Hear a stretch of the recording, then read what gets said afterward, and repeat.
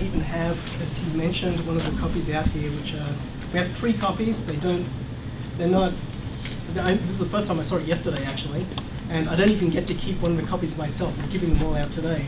so uh, I won't actually get my copy until sometime later. So uh, it's exciting for me as well because it's the first time I've actually seen the thing in paper. So good day and welcome. My name is Brendan. I'm here to talk about the Systems Performance book. And what is systems performance?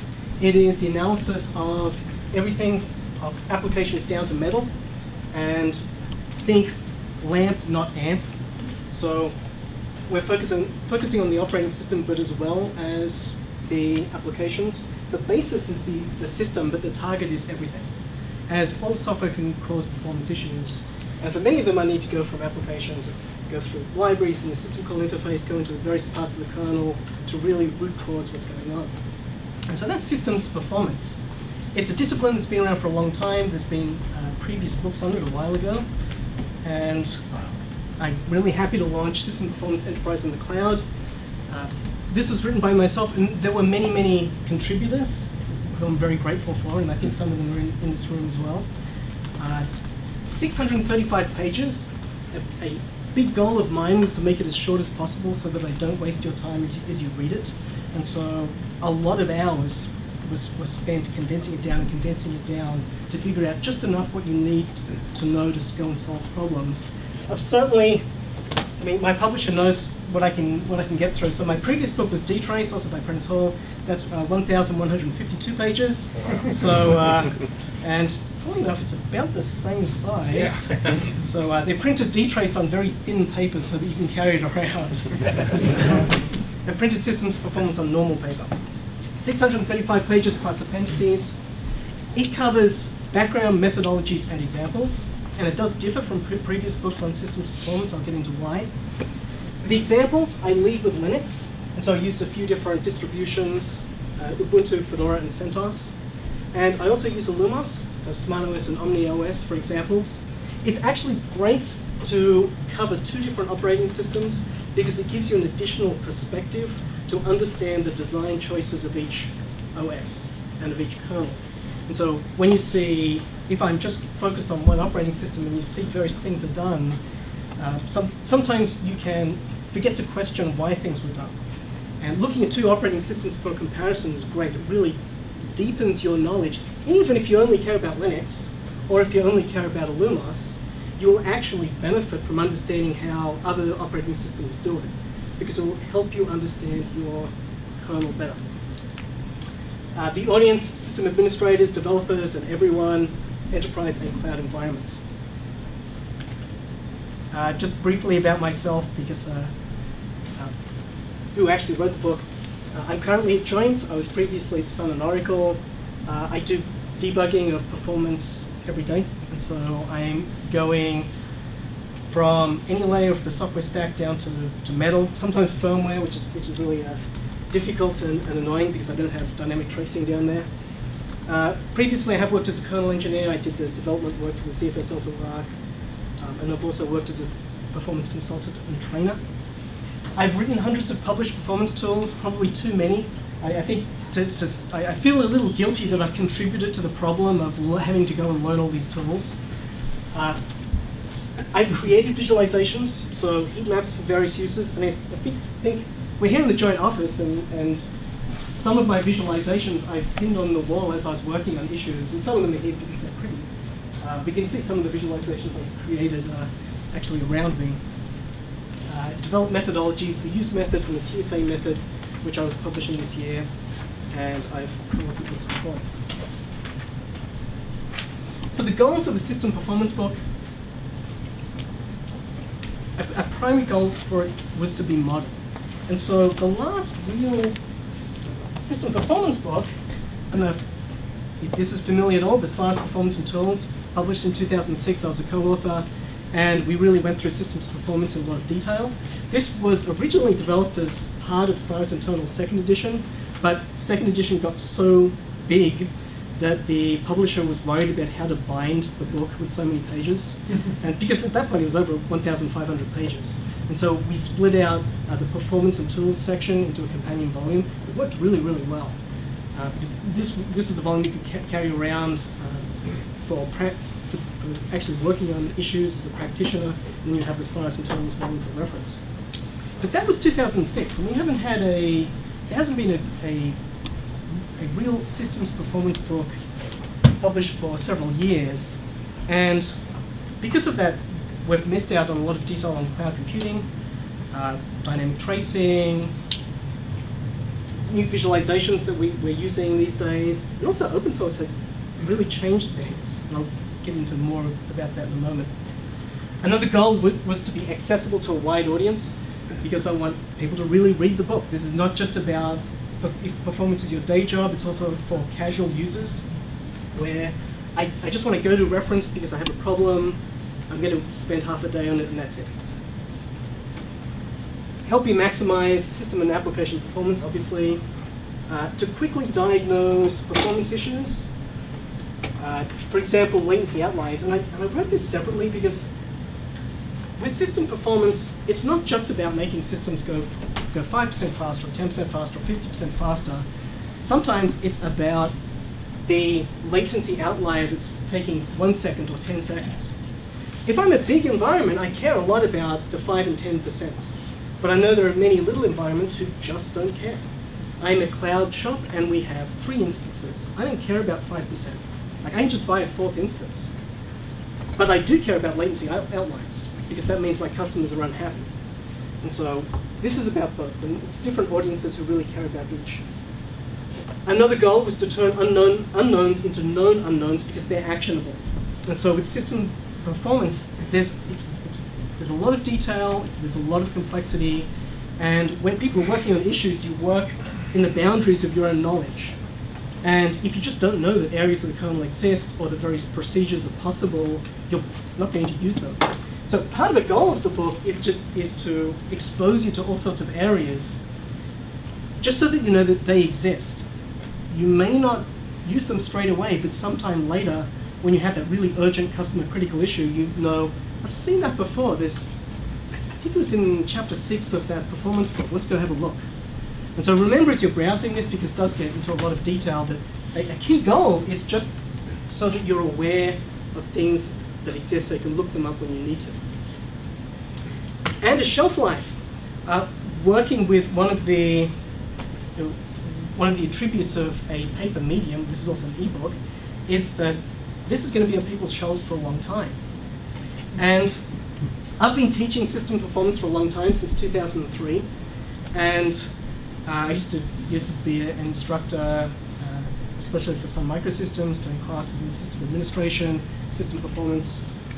Uh, students would expect the instructor to have read every single textbook that existed on the topic, um, and I was already a bit of a book nerd, so I, I ended up reading everything because the instructor can make recommendations to class. It's like, there's so many books on this topic, what should I go and read?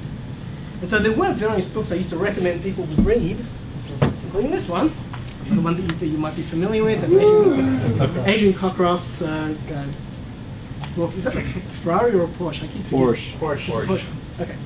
Um, so obviously I'm not as much of a car nerd as, as Adrian is, but uh, and I'd recommend this book to students, even though it was getting older and older and older by the time I was teaching in 2004 and 2005.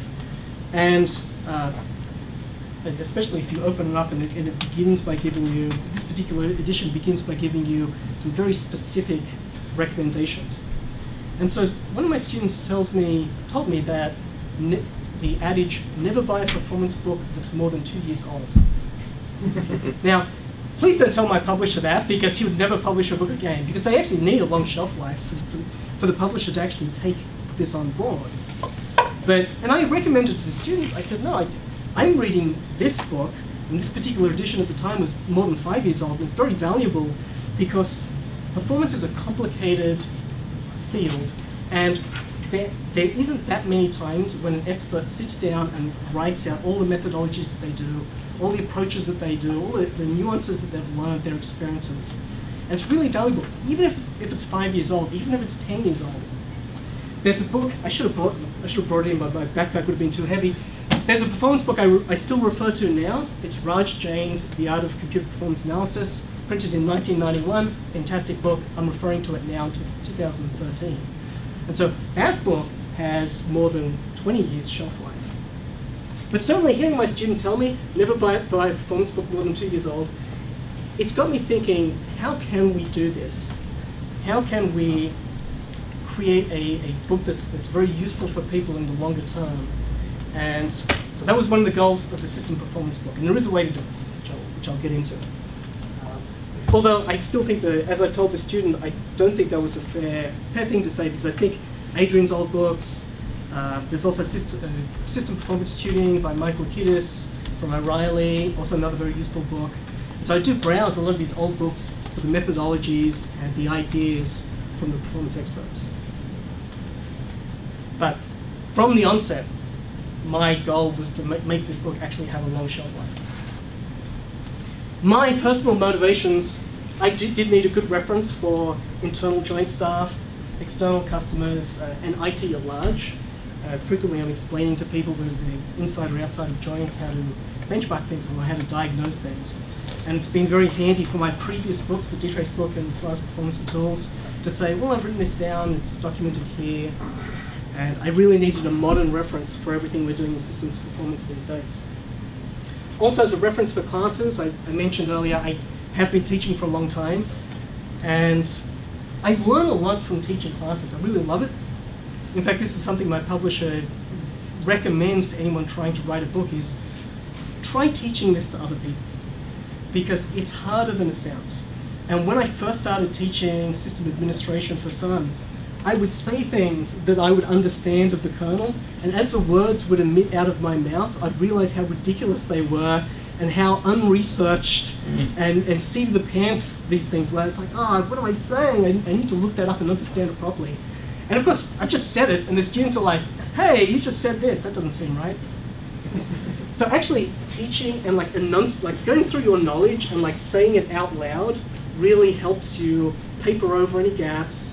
It, it makes you go and research things because they just sound silly when you say them, and, and gives you a better understanding of a lot of things. So I learned a lot from that. I also learned a lot from the, from the students, uh, the questions they ask, and also a, a, type of performance course I like to teach. And, I, and I'm doing this for Joyent now. In fact, I have one coming up November 18th on cloud performance. And this is where I set up labs for the students to solve, and I don't give you the answers. And so I'll simulate a performance problem and say, tell me when you fixed it. And actually create a simulated performance ticket which says the customer reports that performance is bad for these reasons. Then you run some binary and then you have to go and debug it it's really interesting because I would think I would think that well, I've, I've, definitely taught the students how to solve this particular issue, and then everyone will be stuck. Like, okay, well, I need to change how I'm teaching this, and I need to explain various things.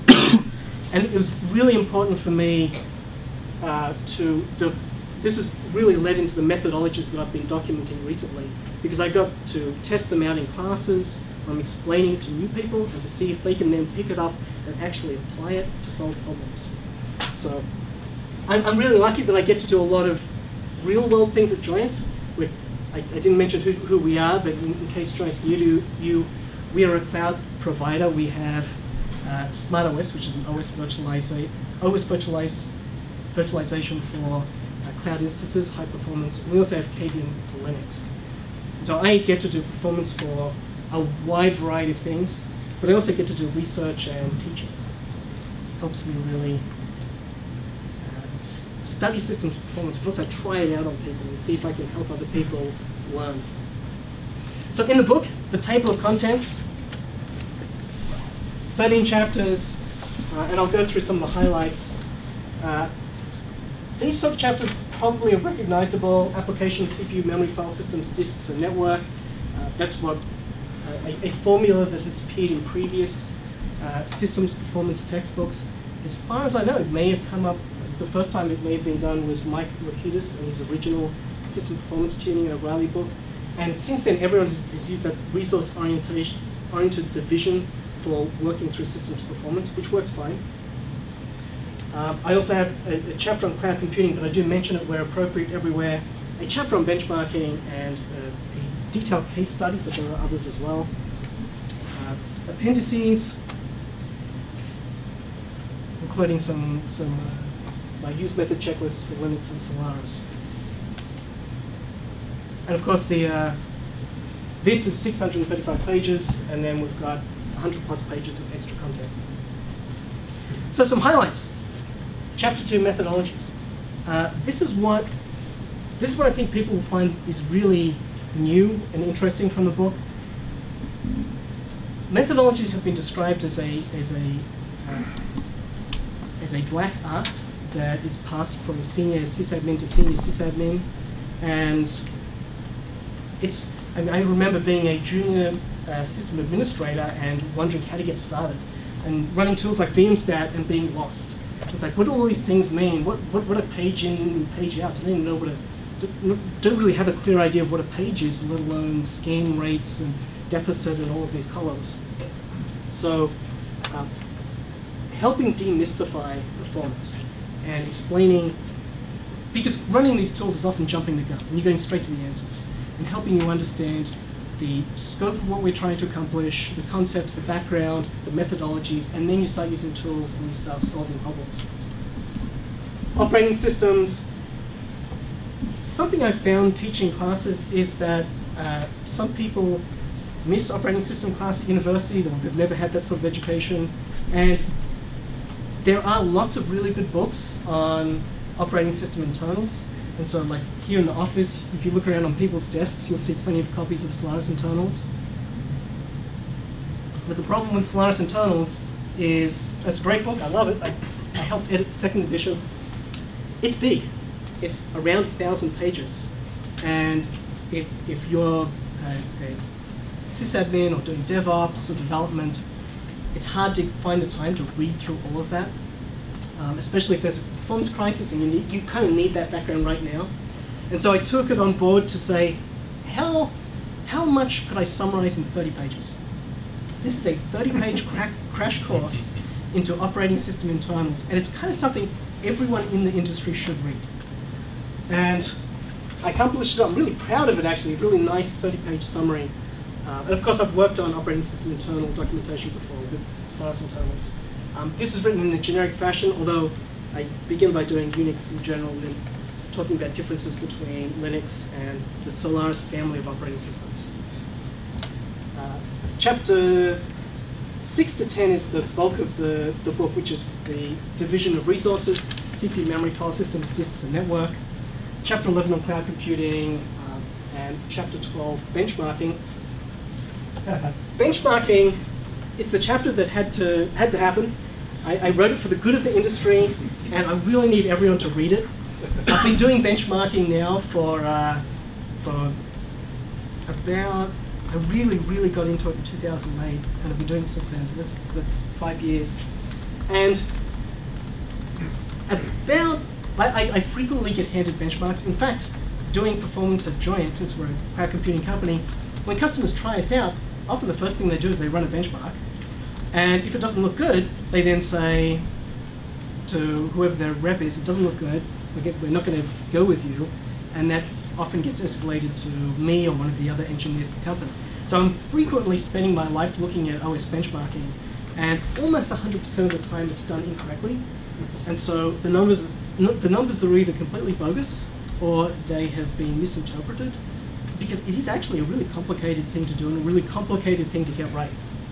So I, uh, I think Adrian, uh, Adrian Cockcroft made some suggestions. I think he wanted me to put that chapter earlier, but um, it's actually quite a dark and depressing chapter because I have to drag you through all the, all the problems that you may run into and I was a bit nervous about putting it earlier and, and, and having you like shut the book and think, I'm not going to read any more, this is just too depressing.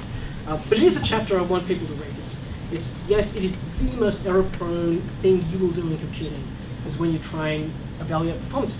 And it's because if, just to give an example, if I gave you a thermometer and said, check your temperature, and you said, radio, you stick it in and pull it out, and it says your temperature is 1,000 degrees Fahrenheit you'd say, well, that's ridiculous. That, that can't be a, a, thousand degrees Fahrenheit. That doesn't make any sense. The thermometer is clearly broken.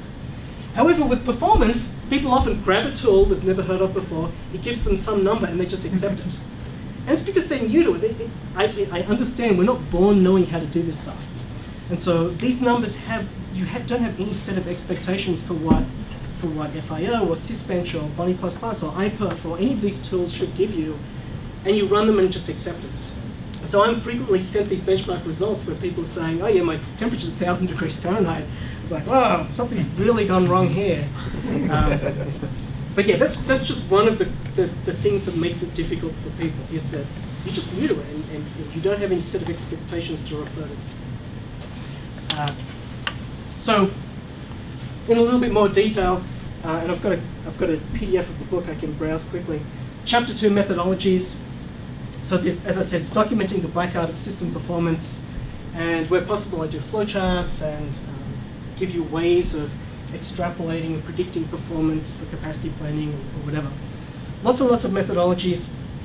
Uh, this also summarizes concepts that you need, statistics and visualizations like line graphs and scatter plots and heat maps, um, of which uh, there are many visualizations elsewhere in the book as well.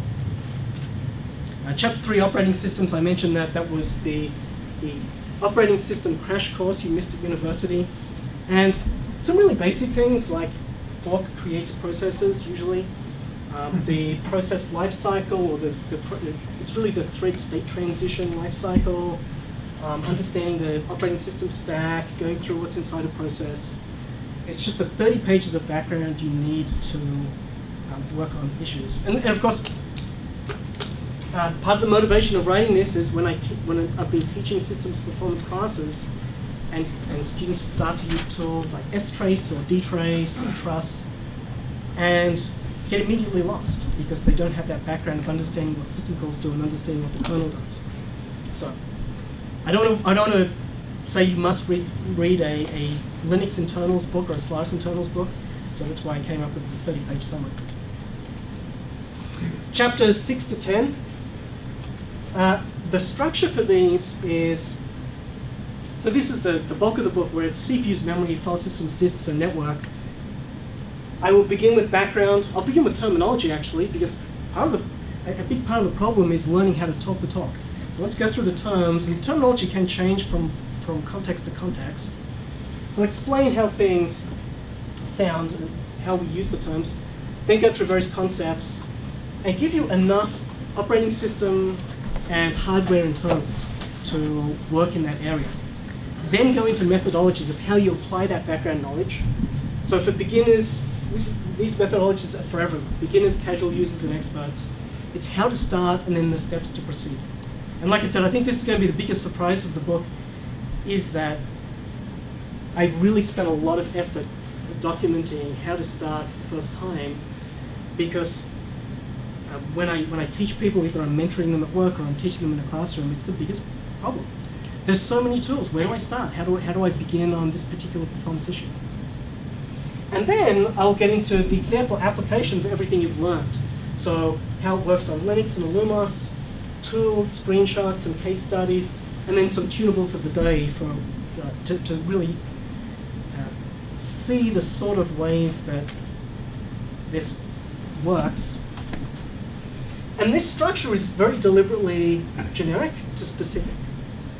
And this is part of why the book is designed to have a long shelf life, because this stuff won't change for 10 years, 20 years, 30 years it's the example application that will change. And so tools will change. The tunables, which I put right at the end, I mean, there's not a lot of tunables in the book. This is like putting a paper book full of tunables is just a bad idea because it, it took five months to go from the draft and then all the procedures of uh, copy edit, proofs, indexing um, to the copy I have now. And, and tunables can be out of date in five months. This is right at the end of the chapter to say, this is kind of the areas you need to go and research, just to, like, like you might, might not know that disks have controllers that you can log in and tune if you have the right tools, etc., etc. The sort of things you should look for, but don't copy the tunable parameters. You're actually going to have to research your environment and then find out what the point-in-time recommendations of the day are. So that's deliberate. Uh, starting off generic and then getting more and more specific as the chapter goes on. Chapter 6 CPUs. This is actually has been released today as a sample chapter. Uh, I've put the URL at the end, and I'll just browse some of it. So I've actually got um, a my author's review copy of the, the book. And so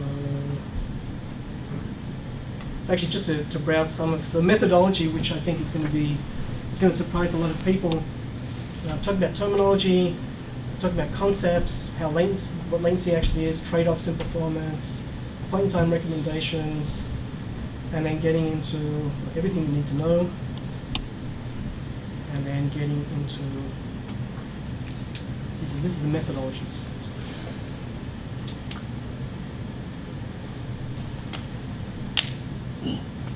So, uh, generic system performance methodologies.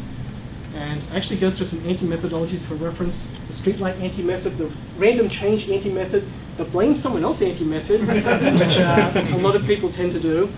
Um, ad hoc checklist method. These are there for comparison, and then get into the, the more uh, productive ones. The problem statement method, the scientific method, the diagnosis diagnosis cycle from Bryan Cantrill, who documented this a long time ago. The tools method, use method, which I came up with, and um, have had that published for a while. Uh, workload characterization, drill down analysis, latency analysis. Uh, I mentioned method R because it's great for comparison. Event tracing, baseline statistics, performance monitoring. Some queuing theory. There are fantastic books on queuing theory, uh, but enough so that you understand it. It's turning one of the unknowns into known unknowns so that you know if the time comes. Uh, the sort of things it can help you with. Uh, static performance tuning, cache tuning, micro benchmarking, and capacity planning. And that's just the generic ones each other chapter has more specific ones for their area, like CPUs and memory and disks and network and file systems. Uh, but I wanted to browse chapter six briefly because this is the chapter six is the sample chapter anyway.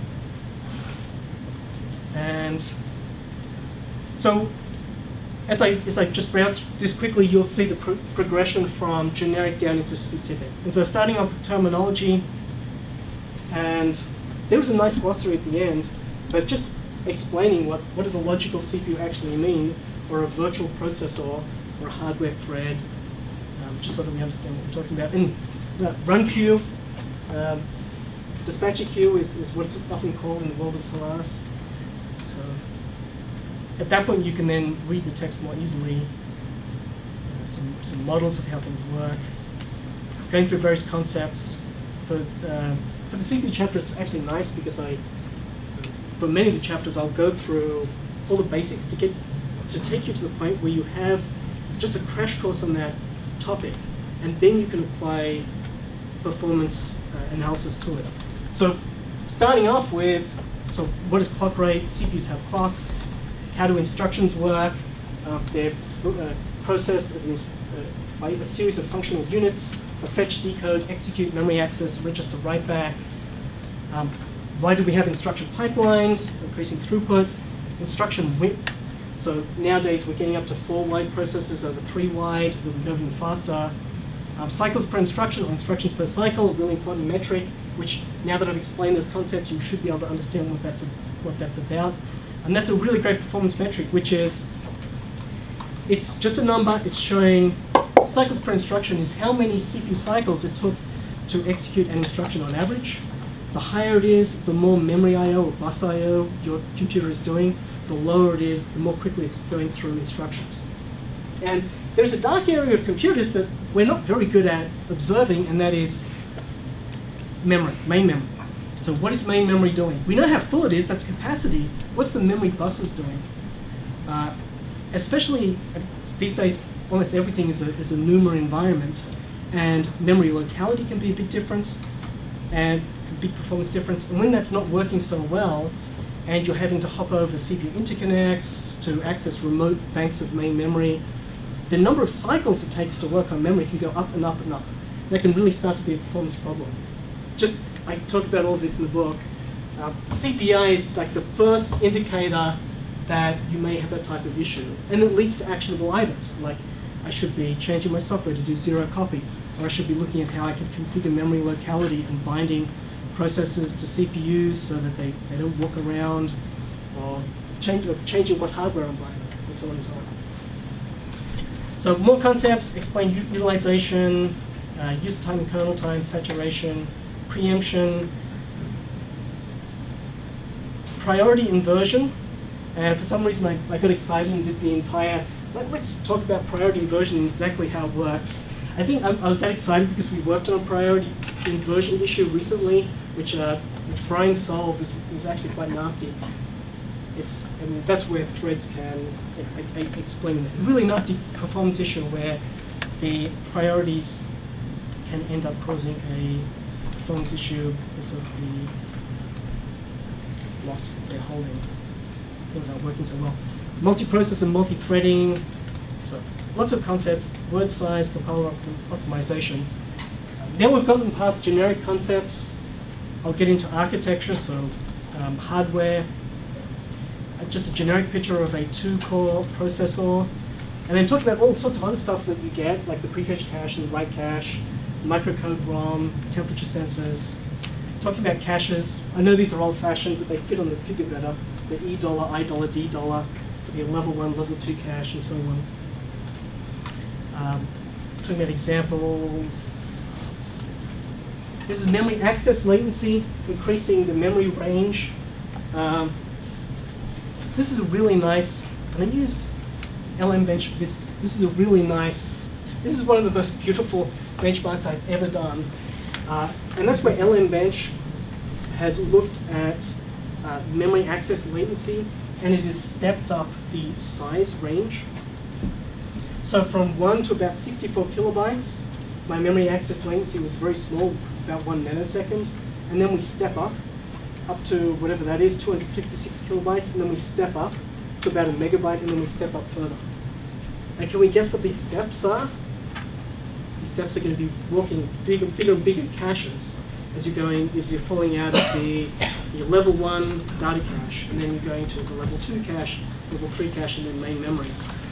So main memory will be up here, and we can see the caches as we go back down to uh, the level one cache. This would be.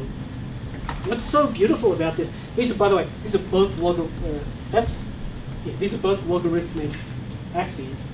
What's beautiful is how even these steps are, and that's the whole point of having these multiple stages of cache caches. I think I was doing this on an Intel machine, and it's uh, the the processor. I think the processor designers have been looking at the same thing, and they're like we need to make the size of the cache and the latency so that these steps are evenly spread, so that it has the most benefit for workloads of varying sizes.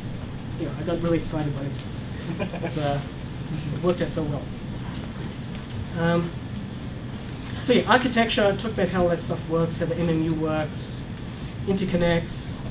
Uh, CPU performance counters is a really fantastic but underutilized uh, framework for understanding stall cycles, uh, how CPU instructions are really working, how they're being executed, uh, understanding level 1, 2, and 3 cache hits and misses, floating point operations, memory I.O., and resource I.O.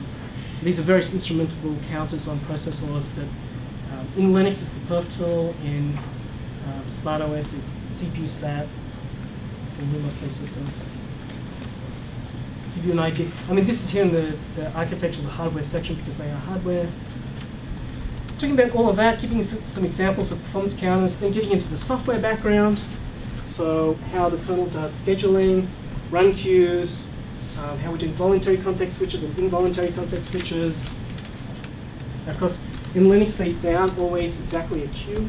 You can have trees for doing uh, thread scheduling, but it's, or task scheduling, but it's similar concepts. Talking about, starting to talk about more specific differences, so Linux and Solaris, um, thread schedule priorities, different thread scheduling classes that you'll encounter and why they exist. And at that point, I've, I've introduced, I've given you a crash course in the, the terminology, the concepts, the uh, hardware of CPUs, and then the software of CPUs, and how the kernel does scheduling, decisions in different scheduling classes. Now I can talk about doing something with it. And so now I'll go through methodologies, and this is the methodologies for the CPU chapter. Tools method, use method, workload characterization, profiling, cycle analysis, and so on. Uh, and so tools method is where you just work through the, you have a checklist of tools, you work through them and then pick the metrics of use. And it's kind of what people do, for simple.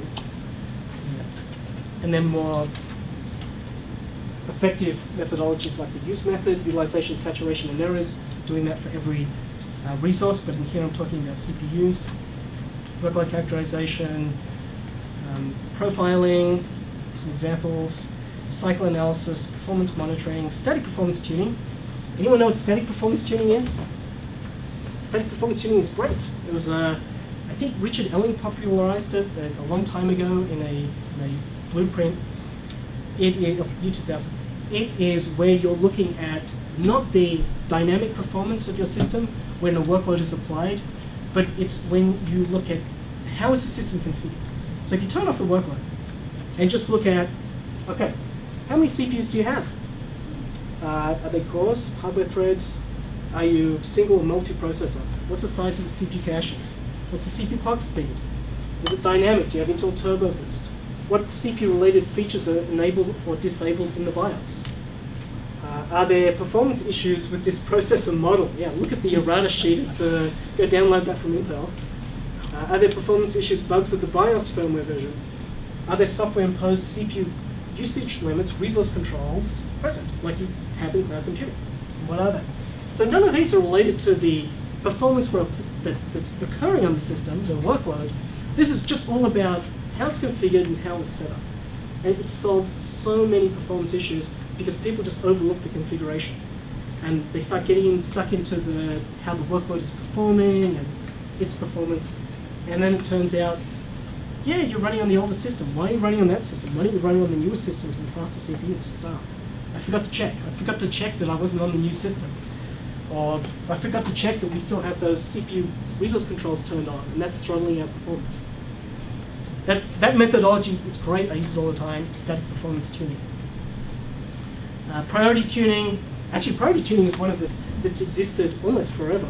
Unix is, uh, for Unix, it has existed forever. It's always provided a nice system call for adjusting process priority.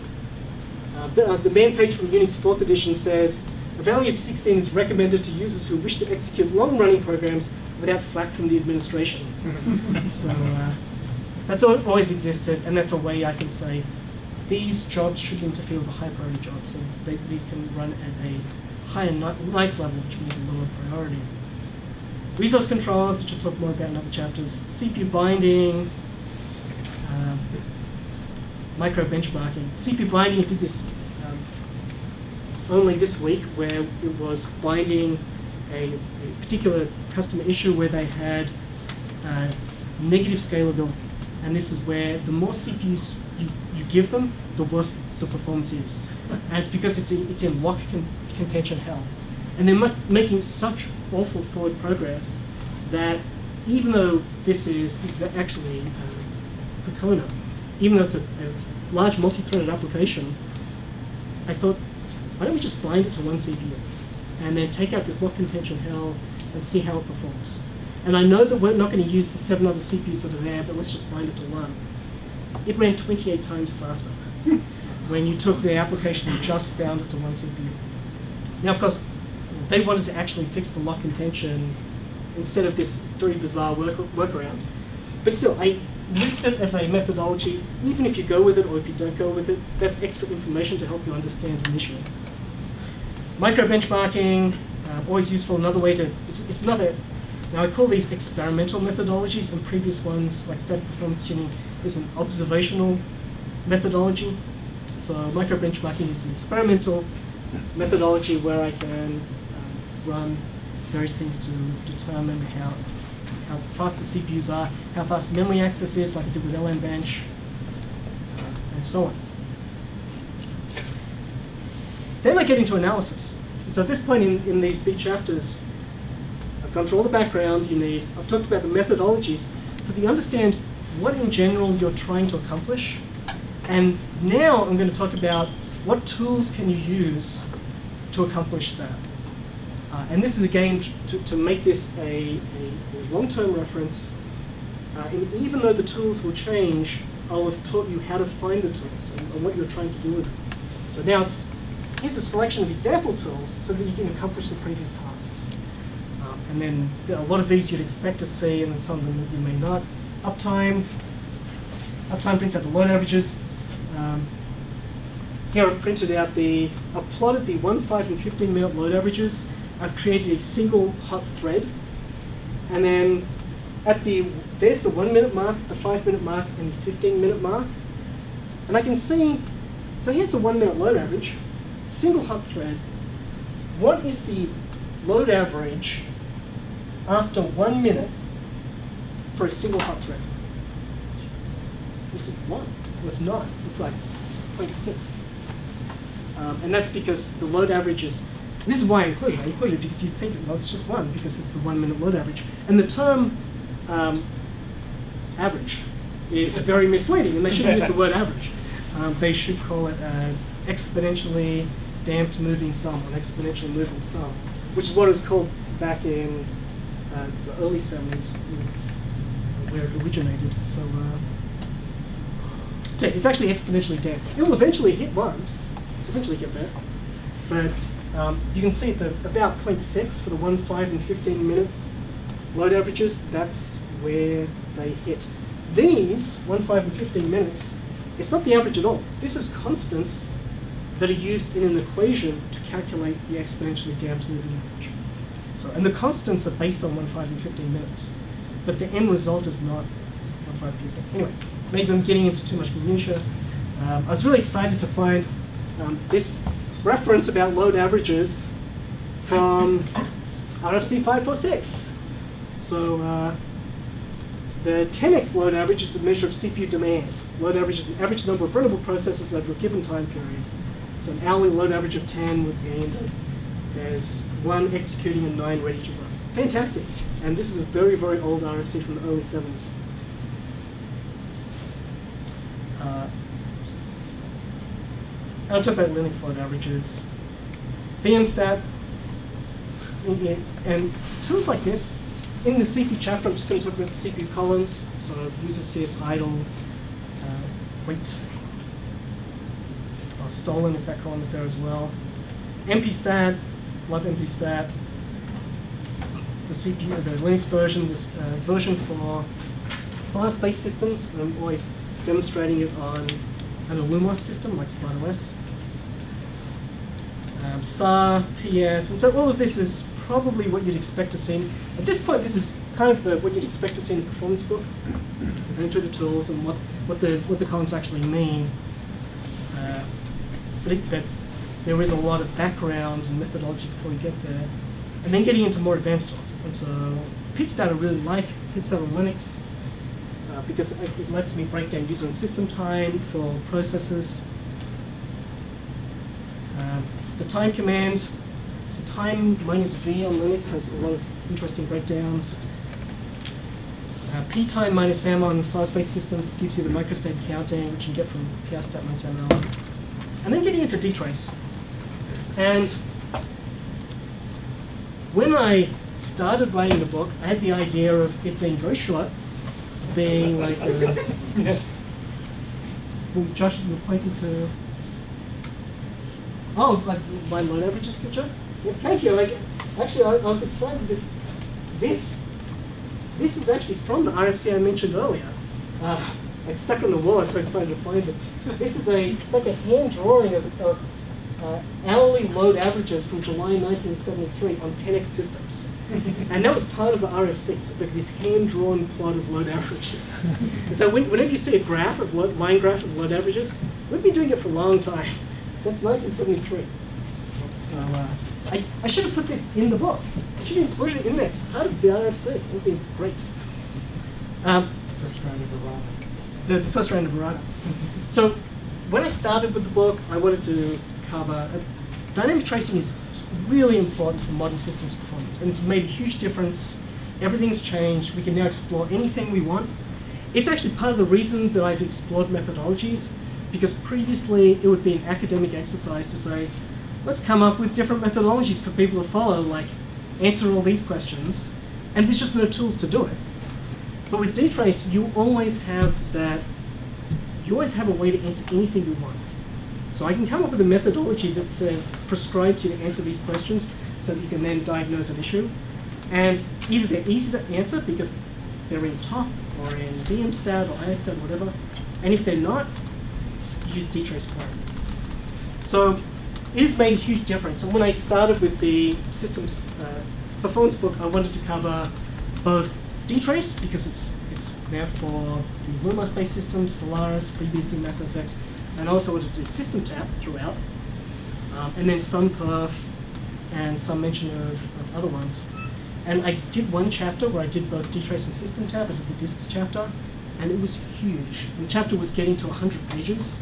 I was like, uh, and, and for a book that was that I, am really trying to make it as short as possible. I could see breaking the thousand page mark, just like the dtrace book, if I tried to do both.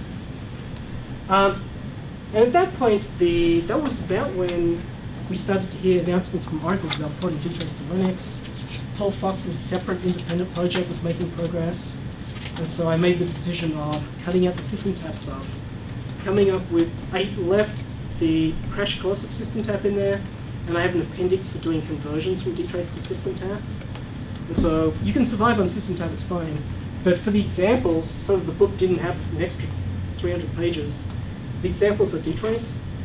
If you end up using system tap, KTAP, LTTNG, perf dynamic probes, uh, how many other dynamic tracing things are there on Linux? There's a lot. Dynamic, dynamic tracing does exist on Linux. Um, if you end up using any of these ones, the dtrace examples in the book will need to be ported, which is actually fine. The hardest part about using dynamic tracing is knowing what to do with it. It's like giving you this superpower. You can x-ray anything and answer any question. well, I don't, I don't have any questions. I don't know what to do with it. And so I've taught a lot of dtrace classes, and, and that, has been the biggest problem for students. Is yes, I get it's amazing. I get it's the, the, greatest thing for decades, but what do we do with it? Actually, that was part of the reason I, I created the dtrace toolkit was to give people canned scripts that they could go and run to answer questions. So all the dynamic tracing examples, not all of them, but many of the, most of the dynamic tracing examples in the book are dtrace. It's okay if you want to use system tap or something else, you'll need to port it. Um, it may be very wise of me if five years from now, dtrace has finished being ported to Linux, and it's there by default in Linux. And they'll be like, well, I'm glad I didn't make this book 300 pages thicker by finishing the system tap work.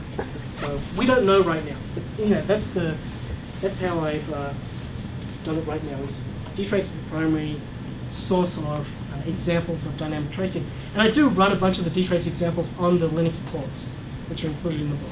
What's the status of dtrace in Linux now? dtrace in Linux, two ports in progress, in progress. Pardon? There are two ports in progress, one by Oracle, one by another guy in the UK, Paul Fox. I've used that one a lot to debug issues in the Joyent lab where customers have issues, and I've replicated. Um, that one will panic systems, and so I cannot run it in production. Um, the Oracle one, they seem to be on the right trajectory and they, they're paying attention to the test suite, but they don't have that um, completed yet either. And so uh, you can actually, Bryan Cantrill, who's here in the room, who's the, the, the father of dtrace, you can certainly ask for his opinions as well about how long it will take before it's completely ported to Linux. I would, I would love to have it on Linux because, and as you'll see in the book, it's, it's hugely useful, but uh, those two ports are still in progress. You can help them out. I've, I've actually contributed things to Paul Fox, not much, but I've, I've said I, I, need this to work and how do you fix this, and he's been pretty helpful. So uh, it's coming along. Yes, the question. Uh, how, how portable are dtrace scripts? Do they work the same on Solaris and Linux? Um, it depends on how the dtrace script is written. Ideally, they are very portable because they use stable providers, and that's the point. Sometimes I'll need to go into, like this script right here, this will work on anything, it doesn't matter. It uses stable providers, that's profiling CPUs. Some scripts do, do go and use kernel internals to answer questions, and you'll need to actually uh, flip the whatever the function names and arguments are from one kernel to the other. Again, that's actually not the hard problem. The hard problem is knowing what to look at. And so if you've got a file system issue, right, what do, what do I look at in ext4? Well, I don't know. But if I gave, gave you 10 ZFS scripts and said this is actually really useful, a really useful methodology and approach for looking at ZFS performance, you just have to convert, port them to a different file system. You have a pretty big head start. And so these are all examples of the things you can do with dynamic tracing. But yeah, uh, some of the scripts will absolutely need to be ported from kernel to kernel, and even versions of the same kernel. So a, a newer version of FreeBSD, you may have to go back and change some of the scripts to make them work. So dtrace examples. Um, and this is the CPU chapter, so I've got an example of profiling CPUs, some various one-liners, user level profiling, and function tracing. This is doing uh, ZFS, ZIO checksum generate, so I'm tracing some part of, of ZFS to see how, how that runs. CPU cross calls, uh, interrupt tracing, scheduler tracing, looking at uh, how long threads on CPU for and uh, bringing that out as showing that as nanoseconds. System tap. Um, introduction chapter 4, appendix E for conversion. Uh, perf. I did do perf in the CPU chapter because perf's a really cool tool if you're doing Linux. And perf can be used for system profiling. So I'm profiling all CPUs, generate call stacks, 997 hertz. It has its own display. I can convert that into flame graphs. It's easier to browse. Uh, perf can also do scheduler latency for the CPU scheduler. Perf can also do CPU, CPU performance counters. So here it's actually testing something and giving me the instructions per cycle. Perf can do lots of hardware events. So um, depends on the, the processor and, and kernel version how many of these you get. And so you can actually come up with custom things like let's do instruction cycles, level one data cache load misses, uh, last level cache load misses, data TLB load misses, and prints it out really nicely. So that's a, that alone is the, the, the genesis of uh, Perf was created to do this. But over time, it's, it's gained all this other functionality, subcommands, including software tracing. And so uh, there's software events and trace point events. This is probes inside the Linux kernel. And so there I'm using perf to trace context switches and then looking at the call stack to get to context switches. At this point, your eyes are glazing over. This is, I, I just start with the, the basic tools and go deeper and deeper and deeper. Uh, it was really satisfying to document perf, perf because it's a very cool tool and there's not a lot of great documentation on it yet. So um, it's fun to contribute to that. And then cpustat for the, for the Solaris or illumos based systems um, to do similar things where I'm getting into the CPU performance counts. Other tools, there's lots and lots and lots. Visualizations. Uh, there's my CPU utilization heat map, which is what you should be using instead of line graphs, because uh, line graphs of average, in fact, I mentioned, tweet, tweeted this the other day, line graphs of average CPU utilization will hide when you have a single CPU that's hot or if you have uh, an imbalance of CPU utilization. And so I do CPU utilization as a heat map. The line at the top is CPUs that have hit 100%. And so we have software you can click on that and find out the hosts they're on. That's actually showing 60 seconds of CPU utilization on 5,000 CPUs. And if I did that as an average line graph, it would just be useless. Can you imagine? On average, your 5,000 CPUs are 5% utilized. right? Do I have a problem? like, do, do I have some CPUs that are maxed out, or like, you can't tell. So, heat map for utilization, very, very handy. Um, sub-second offset heat map. You may be you may be wondering when you're using these uh, performance visualizations at what point. So many of them will show you information at the one second boundary. At what point do, the, do we say we need to go to half a second or a tenth of a second? Like when does when does that become a real problem? And I've come up with this visualization which in some ways is analog. It doesn't have a fixed interval. And so I'm looking at CPU utilization, but on the y-axis I, I show the offset within a second that, and, and, then colorize the pixel based on how many CPUs were uh, online or active. And so what this does is it paints strips for each second. And I can see uh, behavior within fractions of a second and patterns within fractions of a second. And going, going along this, at this point, things are running normally, and then all CPUs go offline. We've actually wrapped, there's the next column, and then CPUs came on, back online again. Normally, since this happened in um, for, for second, whatever that is, second 24, 25 and 26, or normally when you're looking at an average line graph, CPU utilization will just dip a bit and go back up. And you might think, all right, CPU utilization went to half normal and then continued. But by using a sub-second offset heat map, you can see that CPU utilization didn't go to half, it actually went to zero. CPUs all stopped for 900 milliseconds sequentially. And that looks a bit odd here, but uh, just the way it's wrapped and continued. And that is a serious problem. And this is a problem of, of a lock contention where a lock, address space lock, completely blocked an application for 900 milliseconds. And so all there's a database and all the queries were blocked behind it. And you can identify it from CPU usage, but you can't identify it if, you if you're using that one second interval or you're doing uh, utilization. So sub-second offset heat map was great. And then flame graphs, which I've talked about a lot. Flame graphs do uh, let me look at profile data in, in detail and I can understand uh, where, what code paths are consuming the most CPU time. So then I talk about uh, some quick benchmarking and finish with some tuning, just to give you an idea of the tuning options that exist.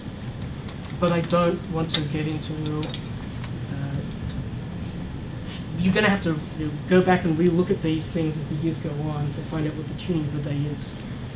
So that's a quick look at what, what's in one of the chapters. Uh,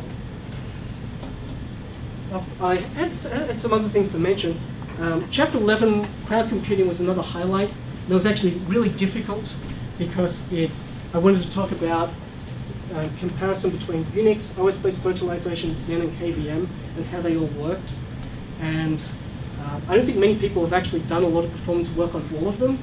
And so, fortunately at Joyent, we do run, obviously we, we have uh, normal systems where we have uh, OS virtualization and KVM, and we have run Xen in the past. And so I had a lot of, lot of uh, experience debugging performance on all of them, and could summarize them for comparison, talk about how you observe the performance of each, uh, how they actually perform, and how resource controls can be applied. modern system performance, which I talked about, um, that's what the book does have. And at, at, at, this point, this may be pretty obvious, so I'll go through this quickly. And one thing I've done is, this is not, a, uh, there's a lot of documentation you'll see that kind of originates from the 1990s. This is where you have like text-based, uh, a lot of text-based tools, limited metrics and documentation, some perf issues can't be solved. Uh, but it's different nowadays, and the, the book reflects that, where um, open source is the norm, so we can go and look, how, look up how things work. We can dynamic trace everything to see how they work. Visualizations, like I showed, cloud computing is, is often involved in that environment, and now we get to do methodologies like we haven't before. Performance visualizations have come a long way since the uh, 90s and things like Xload and line graphs. Uh, we're now able to do things like heat maps and flame graphs, so we can really get a lot more detail out. Uh, modern performance analysis tools as well. So nowadays there's a lot. And so I, these are actually slides from other presentations I've given. I've just been updating them. Um, that's the sort of tools you have these days on Linux. And we have our spread of the dynamic tracing tools to look at everything. And then the, uh, the tools for illumos and again, uh, dtrace can see everything. It's a bit simpler because there's only one dtrace. Uh, dynamic tracing, if you need it, that, that's an example of the, some of the scripts I've written for investigating different parts of the code. And so, and I do mention a lot of these scripts in the book, just mention them because it's part of turning unknown unknowns into known unknowns. So that you know that this does exist, it is possible, you don't need to know how to do it now, but if there's some crises at work, you know you can look it up and it's a possibility. But those slides are actually not in the book. People get excited because I've done these before and they really like them. But they're not in the book because it's not about the tools, it's about the methodologies that lead you to the tools. And the tools are really the answers to that. I do have two uh, examples which I showed, but it's more about teaching you how to apply the methodologies, like the use method, the TSA method, drill down analysis, workload characterization, so that you can solve issues. So that's a quick rundown about what's in the book. Um, and that's, I will, if you find me on Twitter, you can, I will tweet this URL. But I've linked to the sample chapter on my blog. Um, you can find me, Brendan Gregg, uh. Really hope you enjoy the book. It's a it's fantastic seeding paper. I think we'll be giving out three copies. And I, I hope it is, is very valuable. Thank you.